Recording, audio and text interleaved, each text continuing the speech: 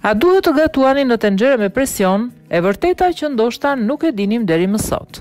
Të gjithë mund ta përdorim pasi është mënyra më e shpejtë për përgatitjen e ushqimit. Disa vite më parë kur doli tenxherja me presion, Gratë kanë gjetur zgjidhjen perfekte për të gatuar shpejt vaktet. Me kalimin e viteve, modelet e tenxherëve me presion u bënë më të larmishme dhe me forma të ndryshme. Por a është i shëndetshëm gatimi me tenxherën me presion? Shumë njerëz besojnë se gatimi me tenxherën me presion nuk është i shëndetshëm për shkak të presionit dhe temperaturës së lartë. Mirëpo, studime të shumta thonë se Gatimi në tenxhere me presion është mënyra më e mirë për të ruajtur beta-karotenin dhe acidin askorbik tek spinaqi. Studime të tjera shpjegojnë se gatimi i brokolit në tenxhere me presion ruan nëntëdhjetë për qind të vitaminës C. Gatimi me avull dhe zierja ruajnë respektivisht shtatëdhjetë e tetë apo apo gjashtëdhjetë e gjashtë për qind të vitaminës C.